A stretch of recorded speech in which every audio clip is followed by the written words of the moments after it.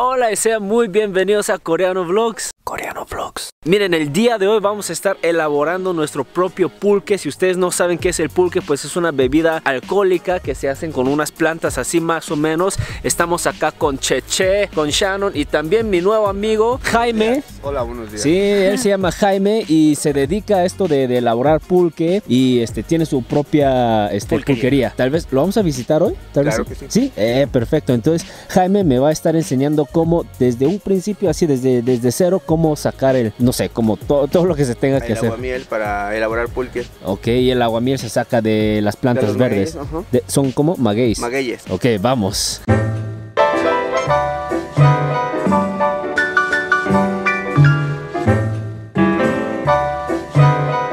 Este es el que vamos Este a... vamos a capar. ¿Cómo? Esa grandota. Nosotros le llamamos capar. Ok, Vamos a abrir la puerta para poder entrar al maguey. ok, eso significa capar. Estos tienen una entrada, hay que buscarle la entrada. Los abuelos decían que un maguey tiene tres entradas. Hay que buscarle la entrada para poder capar el maguey. Aquí se abre una entrada. Se le quita el chichigual en lengua ancestral, porque si le pasas la mano te corta. Si te das cuenta, tiene muchas espinitas. Tienes que tener cuidado. La entrada se abre así.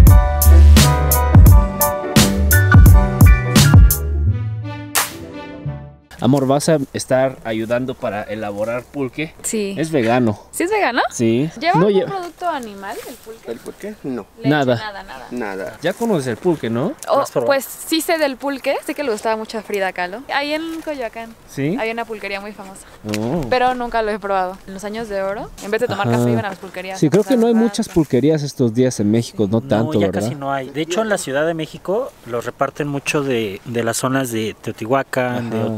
Se lo llevan hasta allá. Xochimilco, o sea, todos los alrededores Mm. en- del Estado de México es donde reparten las pocas pulquerías que quedan en la Ciudad de México. No, pues sí, este agave está muy, muy grande. Yo ni me imaginé que iba a ser uno de estos. Yo pensé que unos así. Este maguey, si te das cuenta, sus hojas ya las hizo hacia adentro, le llamamos palmear. Ah, Ya ok. palmeó, ya está maduro.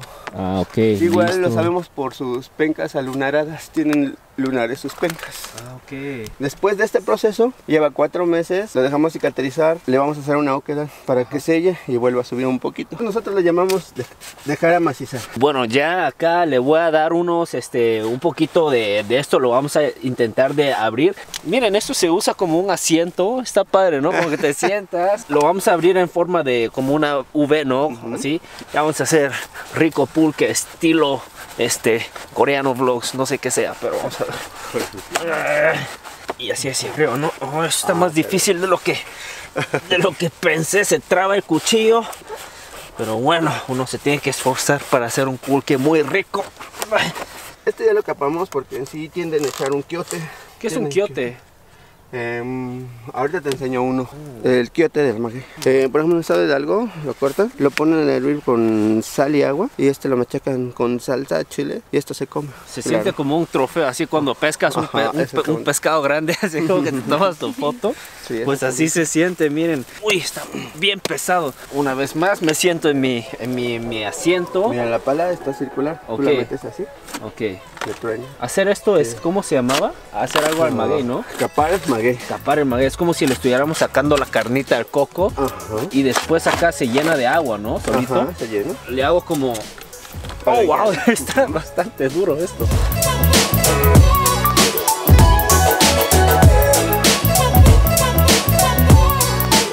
¿Y esto se come lo que se saca acá en el centro? Eh, sí, también se puede comer. ¿Puedo probarlo así nada más? Pruébalo si gustas.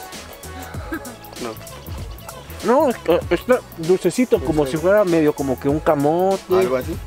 Ok, ahorita le estamos poniendo una fecha. Lo dejamos así, ¿cuánto? ¿Tres meses? Tres meses, cuatro meses. Ah, ok. Pues bueno, miren, y acá pusieron La fecha. la fecha. Wow, miren. Hoy con la misma punta, ¿no? Ajá. Wow. 12 del primero del 2000. Ahora me imagino que vamos a ir a otro maguey que... Ah, claro que sí, vamos a ir a levantar un poquito de agua miel para llevarnos para que veas cómo se procesa el Ok, pulque. perfecto. Bueno, nos vemos en tres meses.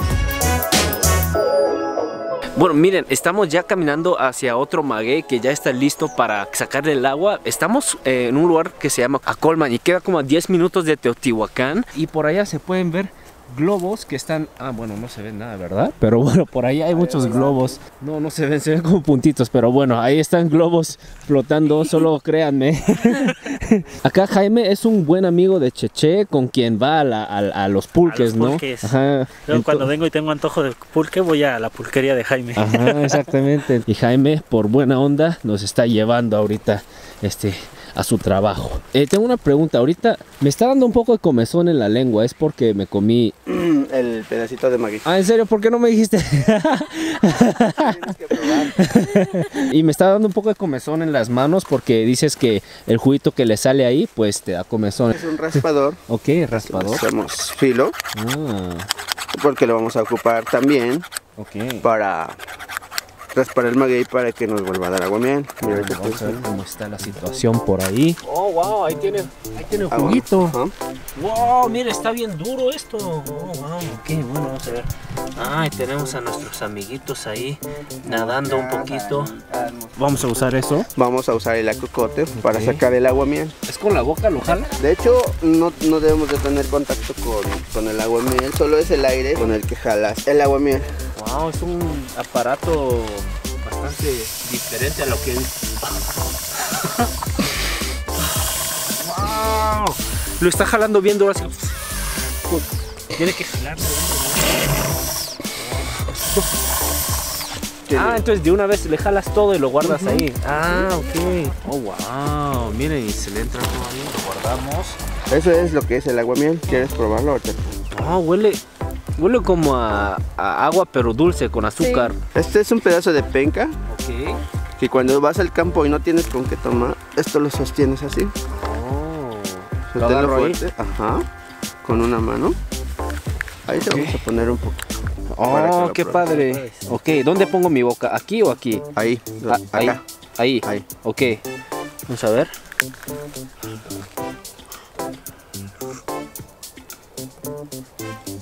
Wow, está súper dulce, está muy rico.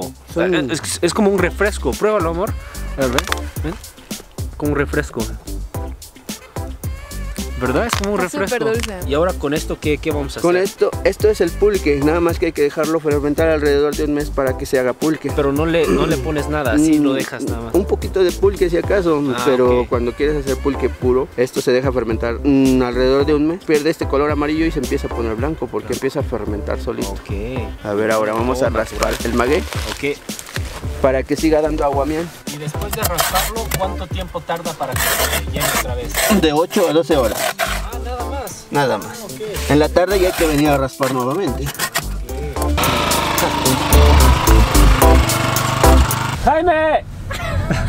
¡Jaime! No me escucha. Dale más. ¡Jaime! Miren, Shannon tenía la tapa y le está chorreando. Toda el agua miel se le está chorreando en la Se espalda. olvidó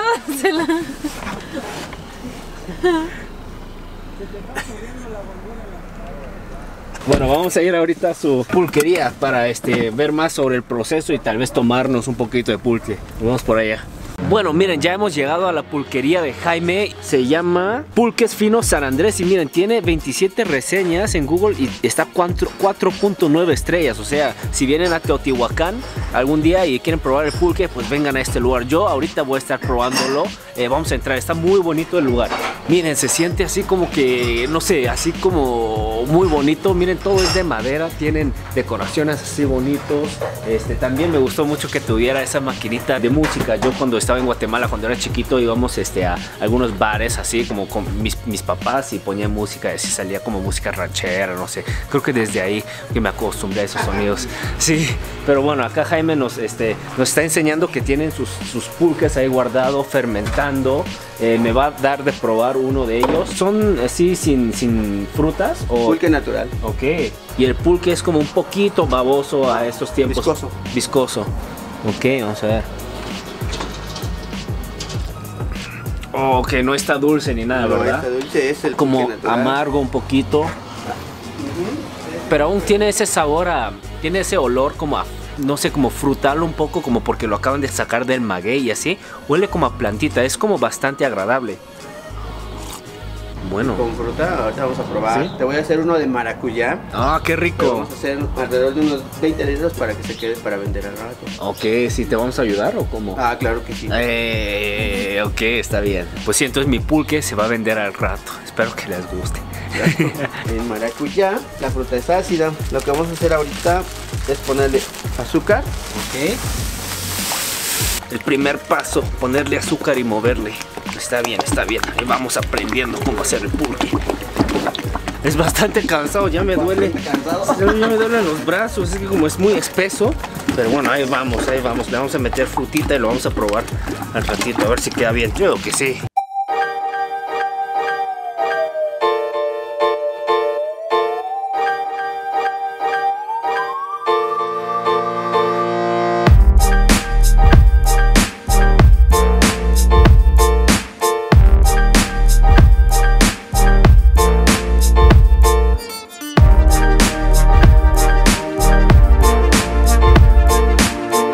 Sí, acá tenemos el primer, ¿cómo se dice? Vaso de pulque, con pulque curado, vamos a probarlo. Ok, Ya tienen las- los pedacitos Ahí de fruta. miel y con la cucharita de la... Este, este tiene, Mmm, tiene este... Mm.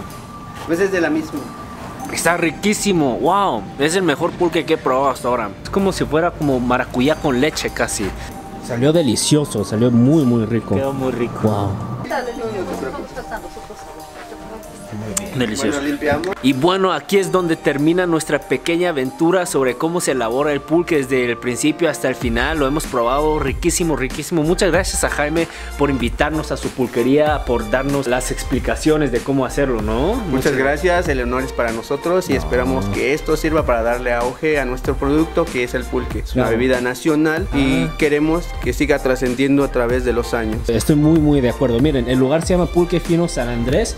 Búsquenlo eh, para la próxima vez que vengan por Teotihuacán. Muchas gracias, eh, No, gracias. Jaime, muchas gracias.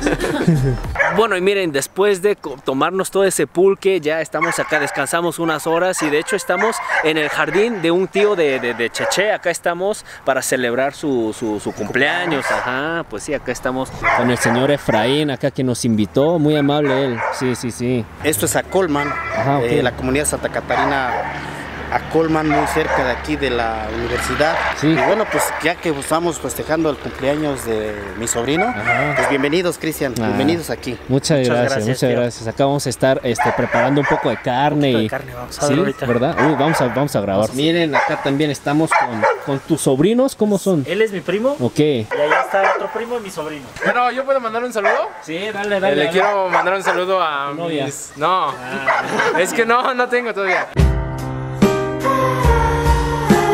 Wow, miren qué rico. Acá tenemos mucha variedad de carne. Tenemos nopales y esto es como al, alcomal, ¿no? Alcomal. Es alcomal, asadita. Wow, súper bien, súper bien. Wow, se ve muy, muy rico. Uy, miren, ya está lista la comida. Tenemos longaniza.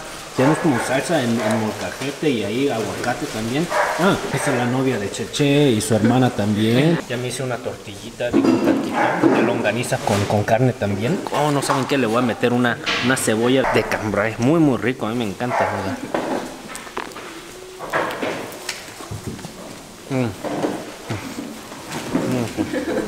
Y miren, acá estamos con toda la familia, ya muchas personas vinieron, son todos familiares de Cheche. Sí. ¿Qué, qué va a pasar ahora? Les comenté que fue tu cumpleaños, entonces en vez de pastel nos trajeron una rosca para el cumpleaños de ambos. Vamos no a partir toque- otra vez la rosca. No nos, no nos toque muñequito. Muñeco. Un aplauso a Cristian y a Cheche, ¿no?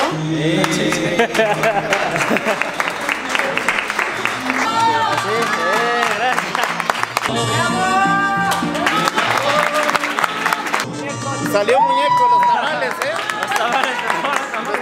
Bueno, y pues sí, acá vamos a este, despedirnos de toda la familia de Cheche. Ya les he dicho adiós, nos hemos abrazado, nos hemos tomado fotos y pues sí, acá estamos para despedirnos. Muchas gracias por, por invitarme. Este, de hecho, es una, un salón de, de fiestas, ¿no? Se puede rentar, me está diciendo. Se Claro. llama salón, este, ¿cómo, cómo se llama? Jardín, Salón Jardín Los Arcos, Santa Catarina, Colman. A 10 minutos de las pirámides. Pues quién sabe, tal vez el próximo año si hago mi fiesta de cumpleaños acá. Por, me- por supuesto que bienvenidos aquí. Ay, a muchas Ya gracias. tenemos la invitación abierta. Ya están las Perfecto. Bueno, nos vemos en el próximo lugar. ¿Le quieres hacer así, Cheche? Y bueno, miren dónde me encuentro. Me encuentro en las pirámides acá de Teotihuacán y es de noche. Ustedes lo pueden creer, es una experiencia única por parte del turismo del gobierno del estado. Me han dado permiso para entrar acá. Yo antes, antes de todas las personas, miren, ahí está la pirámide de la luna y todo esto, todo este pasillo está iluminado. Está muy padre. Este es un evento que tienen acá en la noche y las pirámides proyectan imágenes, eh, hacen un show y está padrísimo. Les voy a dar algunas tomas para que podamos apreciarlo. Creo que esos son imágenes que son muy muy difíciles de ver en el internet. Y bueno, ya miren, ahorita ya está alumbrado de, de azul y les presento a mi nuevo amigo Vicente, quien organizó todo eso. Buenas noches, bienvenidos. Vicente Anaya, de la Secretaría de Turismo del Gobierno del Estado de México. Bienvenidos aquí a Cristian, Sí, que viene y nos visita aquí en Teotihuacán, en De hecho- experiencia nocturna. O sea, yo había conseguido los boletos para entrar, pero no sabía que iba a entrar acá de VIP así eh, primero. ¿Qué es lo que vamos a estar viendo allá en la pirámide, perdón? Bueno, primeramente, experiencia nocturna, vamos a hacer un recorrido sobre la calzada de los muertos. Con esto, ¿no? Es una, una audioguía que se entrega y donde se narra precisamente en 10 estaciones. y aprendemos qué era cada una cosa. Así y es, qué es lo que fue la cultura teotihuacana. Y en la pirámide del sol, un videomapping de 35 minutos donde les narra el apogeo, la decadencia y el inicio de la cultura teotihuacana. Pues ahorita vamos a estar disfrutando mucho el, el video. Muchas, muchas gracias por todo. Y pues bueno, miren, ya hemos llegado a casa, pero ya no se fue a dormir. Se me olvidó terminar el vlog, entonces ahorita salió un poquito por acá. Fue una experiencia muy padre. Y también lo de los pulques fue una experiencia única. Espero que ustedes también hayan aprendido un poquito más sobre el pulque. Hay que conservar esas cosas mexicanas para que no se pierdan, ¿no? Acá me despido. Muchas gracias. Nos vemos en el próximo video, en unos días. Bye, cuídense mucho. Coreano Vlogs.